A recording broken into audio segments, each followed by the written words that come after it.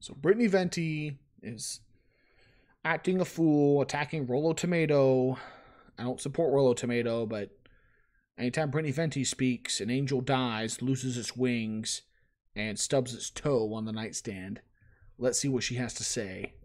Absolute melty, why don't you just leave? George is like 50 years old, threatening to have a melty. He's essentially threatening to take your income away and go off the rails because you made him look bad. So wait. When Rollo Tomassi strikes people, it's bad because he's threatening to take their income away. But when I make a stream about you and your boy toy, think before you sleep, and you, your boyfriend, and all your fans strike my video down, give me a strike, get me demonetized. What? How's how long has it been? Three months. Looking at your ET looking ass face, three months you've gotten me demonetized. I've been demonetized for a quarter of a year because I talked the truth about you and think before you sleep. Me and Ribby were making thousands of dollars every month. Let's calculate this. Let me just be conservative estimate. Brittany Venti, you cost me nine thousand dollars because you or your boyfriend striked down my live stream about you being cuckolds and sellouts. How many comics could that have bought? Like 15 entire comic books. $9,000. Eh, was it? 10, 30, 50 ounces of marijuana. I could have got a mortgage on a condo. I could have bought another Chevy. I probably could have bought two Chevy Luminas. I could have bought a new PC rig. But woe is me. What? what uh, Rollo Tomassi strikes someone down, and that's horrible. But you and your limp Alfredo noodle boyfriend get me demonetized, strike my channel down, and it's all it's all fine and dandy. I gotta calm down. I don't want to get another strike from YouTube or Brittany Venti but I'm feeling very emotional about this right now because she has lost me money. Personally, I would think twice before having him on a show and risking my livelihood. This internet ghetto is also renowned for expressing their disdain for the other gender and not being wanted by them. It's kind of like when woke feminists say that if you don't date them, you're XYZ phobic, even if you personally just find them unattractive. Or in the red pill manosphere's case, it's women having too high standards and not wanting to endure their personalities. Endure. Oh, you wouldn't want to be with someone someone like that, I'm shocked. The manosphere gives young boys and men dating advice, sometimes under the guise of self improvement, and usually it's something about how to attract women. Show of hands if you're single. Oh. Okay. Oh. oh. So, women don't have too high of standards? Is that what you're saying? Let me look up something real quick.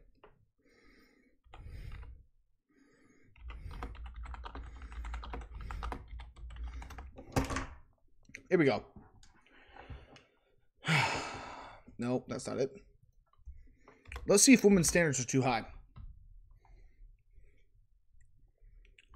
Only 15% of men, no, no, only 15% of women are willing to date a man who is five foot eight.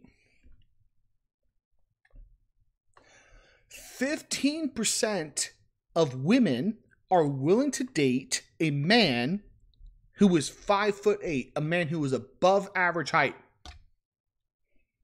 But you know, women don't have high standards, says the woman. Women don't have high standards, says the woman. Another example in the litany of examples why I do not give a singular fuck about what women think. I, I don't care. I look at what they do and I act accordingly. What women think, what Brittany Venti thinks, is useless to me. The way the way she thinks, the way most women think, the majority, the, the 99.999% of women think, is garbage tier. You're, you're going up to a African tribe in 8000 BC. Um, humans weren't around then. I guess it might have been. You're going to an African tribe in 200 BC and asking them which restriction enzyme you should use to make the plasmid of your choice. They're not going to have any idea what you're talking about.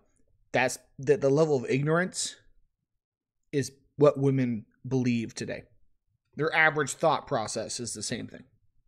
I don't care what they think.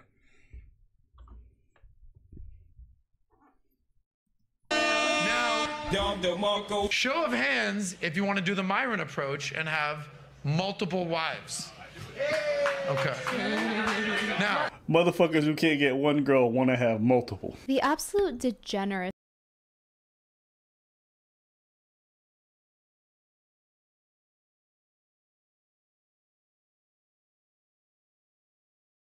and high standards that they claim to hate about feminism is absolutely rampant in these parts. And worst of all, the red pill manosphere has co opted my favorite movie, The Matrix, which is why criticizing them is met with their response of, Everyone I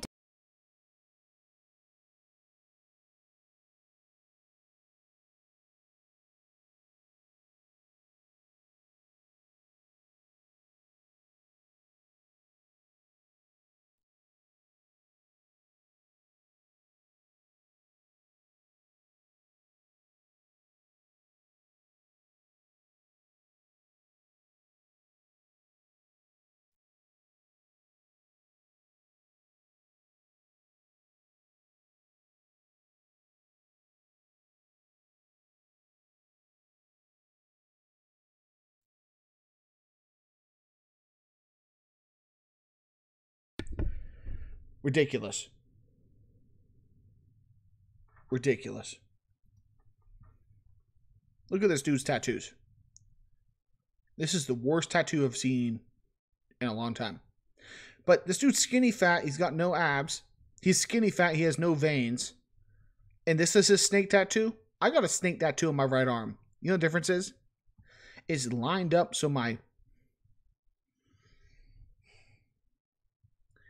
It's lined up so my bicipital veins are bulging outside the snake skin. Crazy, right? Crazy. Don't like is part of the matrix. Even if you're very vocal on opposing woke ideology, they don't really care. It's very much a us versus them mentality. You're either with them or you're against them. That's the problem. You want to fight against the matrix? I mean, Rollo, who's like 53, um, he's got better arms than Tate, but that's still that's not saying much. Don't look at this guy. Look at the look at the Hollywood moguls who are telling you that that Margot Robbie should be Barbie. In this video, George talks about Margot Robbie being casted as Barbie and how she is too old to play Barbie, and how her being 32 years old in the film as opposed to 25 is literally the same thing as race swapping a character.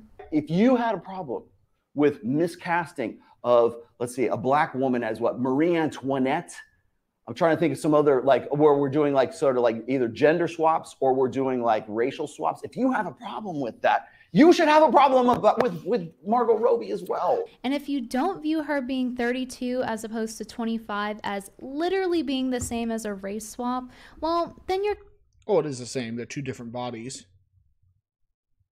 Now, I here's my opinion on Barbie. I don't watch bullshit, so I don't care. It's like some dude going who's like, "Bro, we we need to talk about the the quality of fecal matter coming out of the sewage plant." I'm like, what? He's like, yeah, people used to eat a lot of corn, so it gave me texture to chew on, but now people don't eat corn as much, and it just slides down the throat. I'm like, get away from me. Why are you consuming fecal matter? You're disgusting. That's why I have no opinion on Barbie. I'm not watching Barbie. I don't care about Barbie. I don't care about any of that shit. Why are you surprised a woke movie casts woke actors and doesn't care about age? I don't care. Stop asking me to review Barbie, guys. I don't care. You're kicked out of the club because I got all these guys who were formerly red pill. Now suddenly they're playing sneaky fucker game. the same game that they criticize other guy, uh, male feminists. You're basically a male feminist right now, guys. How dare you? How you're a disgrace to the manosphere. You're a disgrace to the like. every- Give me your badge. Turn in your man. Turn in your man card. Why why is Rollo why is Rollo doing an interview in the show apartment of a college apartment? Why are you here, bro? Stop this foolishness. The redheaded libertarian ran a poll on if 25 year old Margot Robbie is hotter or 33 year old Margot Robbie is hotter. So I did an identical poll, except for one thing I switched the photos. I'm Jennifer. Another ad. I'm Jennifer Garner asking for money. I'm a woman. No, I'm not giving you money. I'm not doing it. But give me money at Cash App slash Cash Sign UndeadChronic. That's Cash App slash Cash Sign UndeadChronic.